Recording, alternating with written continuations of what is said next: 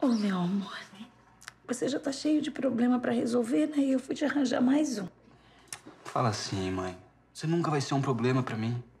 Ao contrário, quando tô perto de você, eu me sinto protegido. Eu não tenho problema nenhum. Minha mãe me largou quando eu era bebê, né? Mas sou sorte, porque agora eu tenho a melhor mãe do mundo. Eu tenho a minha mãe. me acusam de ter deixado o garoto epilético, de eu, de eu- de eu ser um marginal. Paciência, mãe, paciência. Porque a minha mãe acredita em mim. Só isso que importa, mãe. Essas pessoas não iam te chamar de marginal se elas soubessem o quanto você é doce. Com licença. Desculpa. Dona Lourdes, eu preciso examinar a senhora. Eu.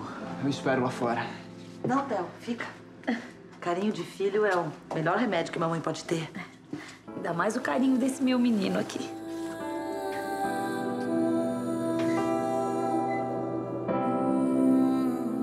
Que que você tá falando assim comigo? Eu só tô tentando te ajudar.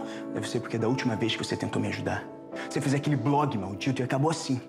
Com minha mãe no hospital. Você tá me culpando pelo estado da tia Lourdes? Não, não tô te culpando de nada. Eu só acho que se você não tivesse escrito aquele monte de ofensas na internet, as coisas poderiam ter sido diferentes. Espera, Pedro. Fica assim comigo, tá? Olha aqui, Angela. Eu tenho me perguntado, será que você é minha amiga mesmo? Será que isso aí é um bando de, de sentimento egoísta e nocivo? Não fala isso, Pedro. É verdade. Não vou falar mais nada, não. Vou cuidar da minha mãe. A gente se vê, tá?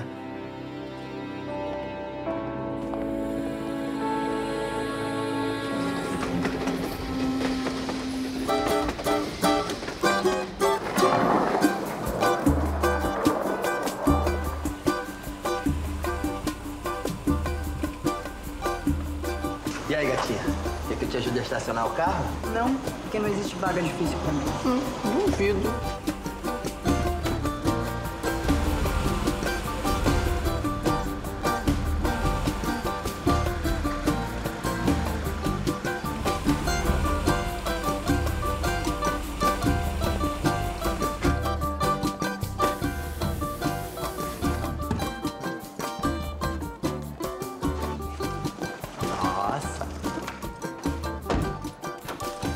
Moleza, né?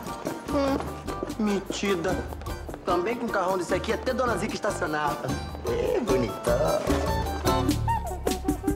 Isso aí é fita da suburbana, é teatrinho, Franz. Então essa mulher merece ganhar o Oscar, Lúcio. Eu fiquei bolado, mano. Pobre adora um drama, rapá. O marido morre, a véia logo se joga no caixão pra começar o show. Me leva com você, Cris. Não vivo sem você. Faça-me um favor. Vive reclamando que não tem nada. Aí chove num do puleiro deles lá e começa. Eu perdi tudo que eu tinha, perdi tudo. Ai, meu Deus. Uma palhaçada. Palhaçada, Lúcio. A mulher teve um AVC, será que nem assim você consegue ter um mínimo de sensibilidade, cara? Opa, moleque frouxo. Dá uma linguiça pesada. Não é pra menos eu estar chateada, né, Babi? O que a dona Lourdes teve foi grave. O Pedro ficou arrasado. E o Theo, como é que tava, Catarina? Olha, tô vendo que tem mais de um irmão despertando interesse nas minhas amigas. hein? Tava triste, chorando. Ao contrário do Pedro, que tava se bancando forte, sabe? Ai, mas tadinho, ele tava a ponto de desabar. Ai, como eu não queria que ele estivesse passando por isso. E ele ajudou você com o Fred, né? Duas vezes. Eu acho que seria uma boa você dar uma força pra ele, né? É, nada impede você dar uma força pro Pedro nesse momento difícil do garoto, né? Nada impede? Tudo impede, Lori. Tem meu pai, o Fred, o Theo e agora a mãe do Pedro. Ou seja, todos os elementos de um grande amor. Bom, eu vou lá pra caldeira. Eu prometi pro Pedro que eu ia dar uma ajeitada lá. Não quer uma ajuda, uma companhia? Não, não precisa. Eu dou meu jeitinho.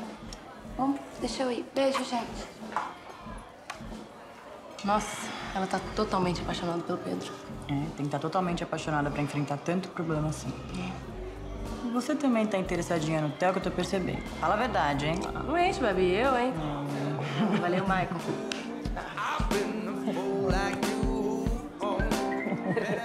Bom, eu sei que a última vez que eu te chamei aqui pra nós conversarmos, eu, você e a Júlia, enfim, não, não foi nada agradável.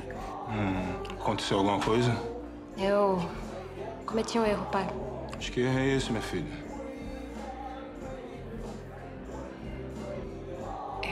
O Arthur, o namorado da Júlia, E ele não é o pai do filho que ela tá esperando. Como é que é? É, Antônio, o, pai do seu neto é outro.